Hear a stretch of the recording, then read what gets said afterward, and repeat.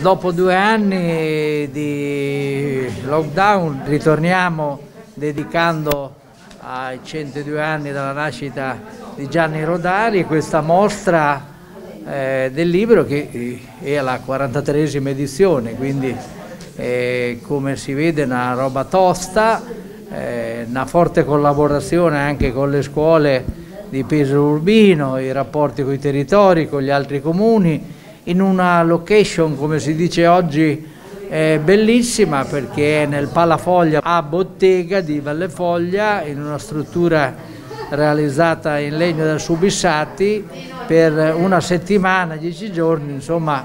eh, saranno tante le persone che visiteranno, sono messaggi anche importanti tipo la pace, la solidarietà, eh, la comunità, tutti i messaggi eh, che Rodari dava alle persone più adulte, ma soprattutto la lettura dei libri, i bambini di questi tempi e una eh, apertura già dal manifesto, da vedete i colori,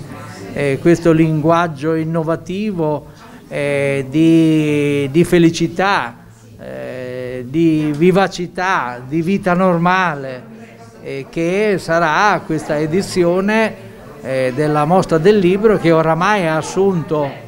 una caratteristica eh, che è una caratteristica marchigiana